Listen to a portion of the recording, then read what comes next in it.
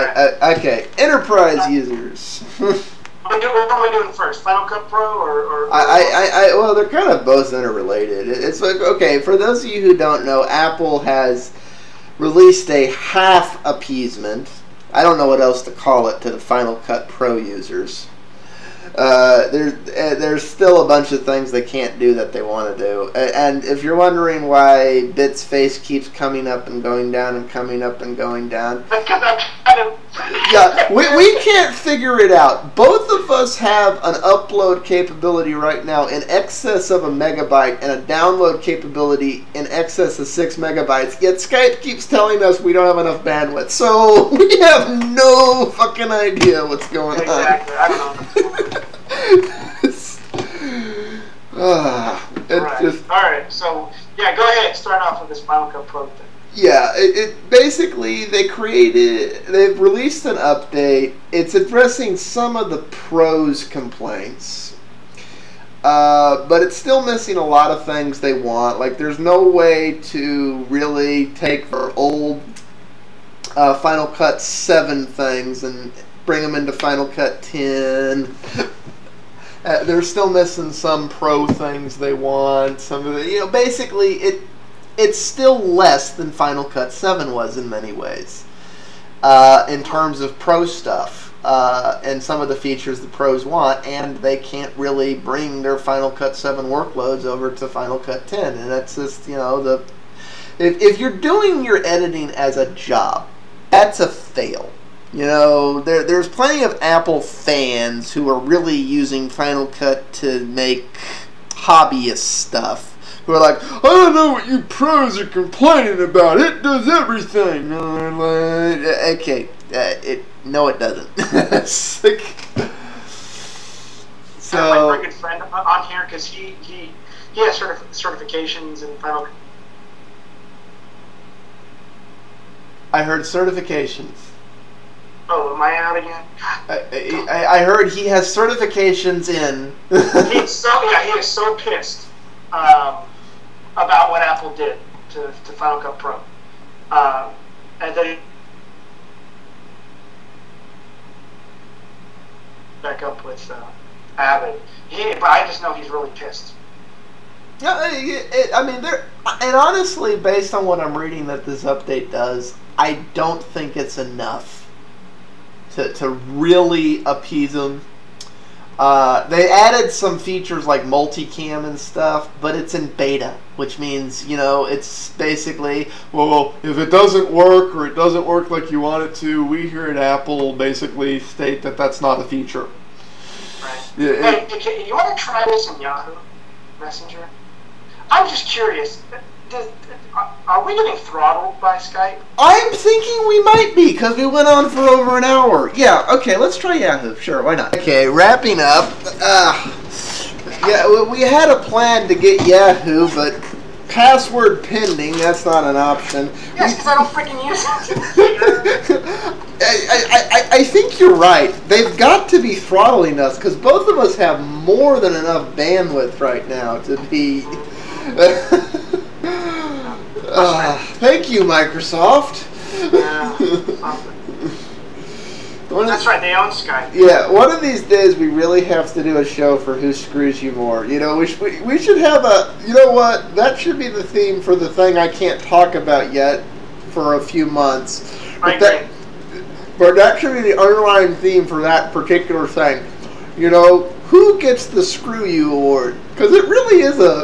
It's like, is it this one, this one, or that one, or maybe Yeah. that one? I agree. I agree.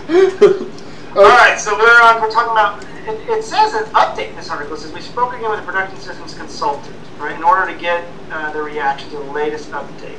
Overall, they seem to believe that 10.0.3 update from Apple does have some promising elements, but it's probably too little, too late for the community. Now that's interesting. mm-hmm. Reading about 7 to X, which is like this XML transfer to you to, to import uh, files from Final Cut Pro to 7 to Final Cut 10, um, it doesn't seem to be a, as high fidelity a conversion as I'd expect. Apple had done it themselves. Great for third party and for upgrades.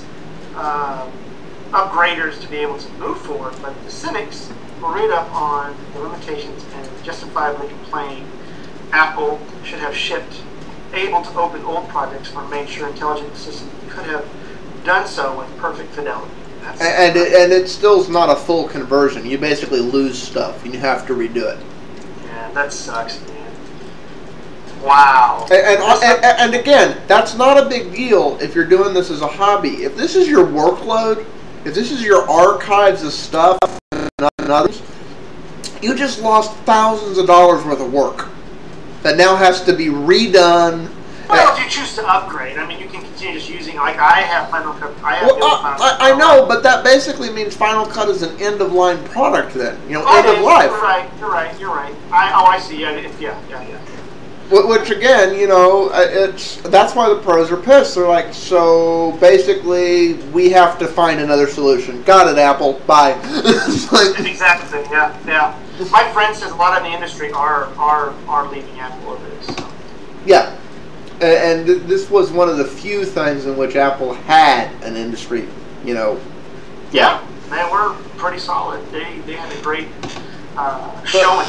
Well, no, and, and this, this this really does go to show that no matter how entrenched you are in an industry, if you release an update or a newer version that just is a unilateral depart from what your core professional customer base has come to expect from your product, you undermine it, and it's you, you that's hard to undo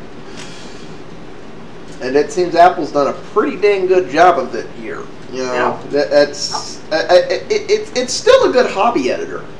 It's not like it's a crappy editor. It's just it's missing a lot of the things that these people needed.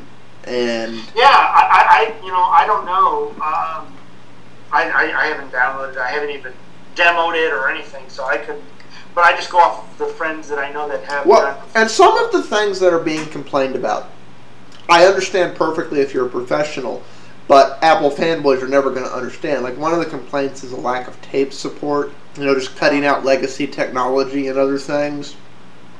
And that makes perfect sense for Pro because you're not going to spend the 20 hours to, you know, convert this over to this and do, no, you want it to work with all your legacy shit that you have back there. You you don't have the time to convert it all to digital. That's not an issue for somebody doing a hobby. That's a huge issue for somebody doing professional video editing because they got to splice in stuff off a tape.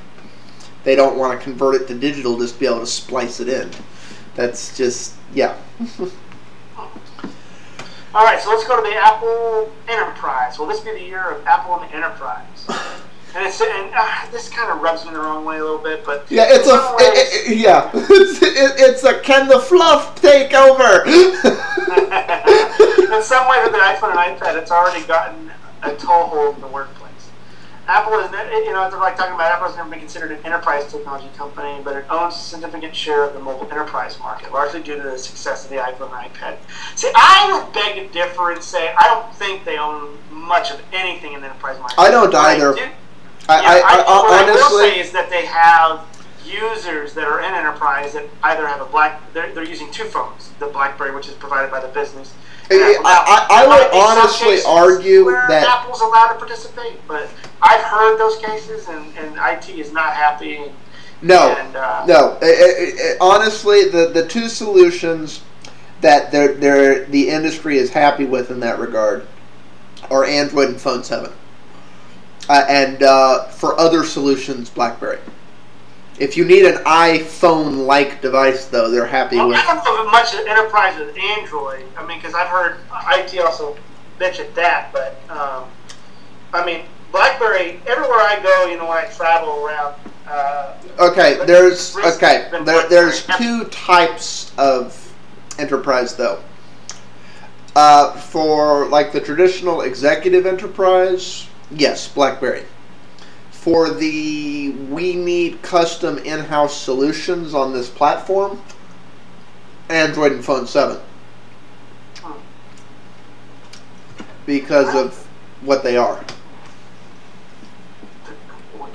Do you have case studies on that, or I'm just curious? I bet Google does. I'm, I'm pretty sure. I, I, I, don't have them in front of me. Google has some case studies on that. The companies that are liking Android is because you can basically. Well, wait a minute. I know a lot of companies that do like Android. As partic- particularly, I know a lot of lawyers that like Android uh, that I work with, and.